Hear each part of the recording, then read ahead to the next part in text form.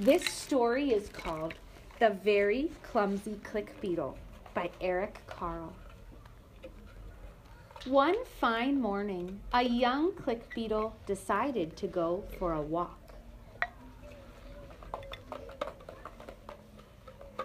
At noon, it climbed up and down a flower.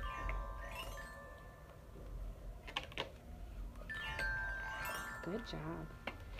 In the afternoon, it rummaged through a pile of pebbles. Pebble. Pebble.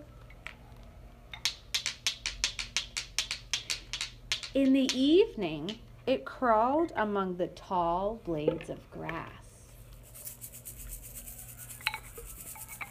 Right, it's time to get your sticks. And Don't play until it's time. And when it turned night, the young click beetle crept up a tree. After a while, it got tired and fell to the ground.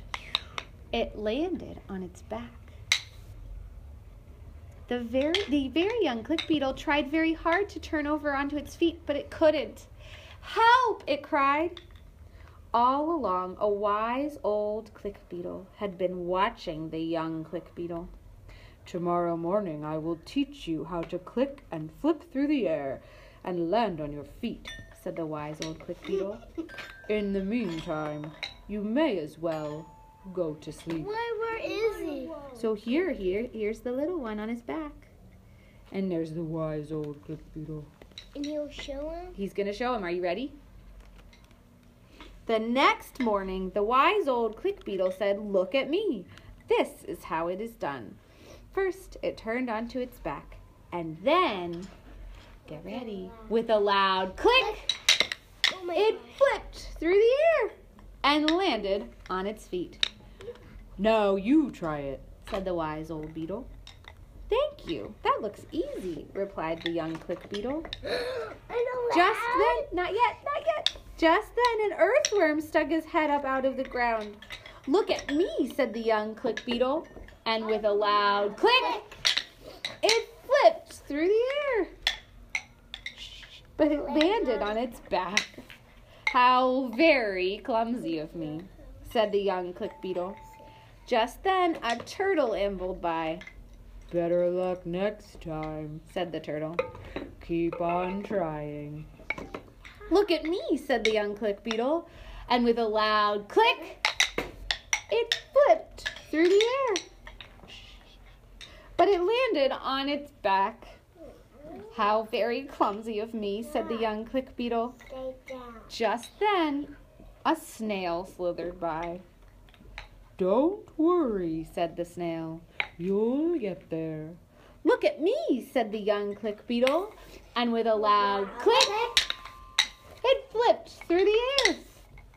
But it landed on its back. How very clumsy of me, said the young click beetle. Just then, a mouse scurried by. You need a little more practice, said the mouse. Look at me, said the young click beetle. And with a loud click, it flipped through the air. But it landed on its back. Just then, oh, what was this? The young click beetle had never seen anything so big. It could not move. It was scared. Well, this is a guy. Yeah, but it's so big. But he's telling him something. You think it looks like he's telling him something?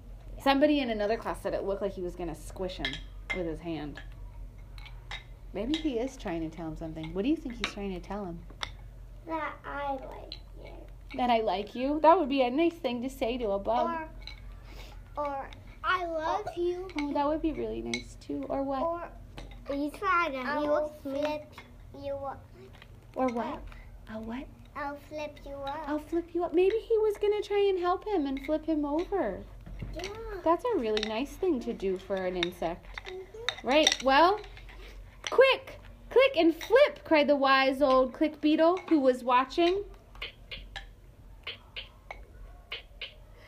And with a loud click, the click beetle flipped through the air. But this time it did three graceful somersaults and It landed on You got it. It landed on its feet. Look at you, shouted the wise old click beetle. You have done it. The end.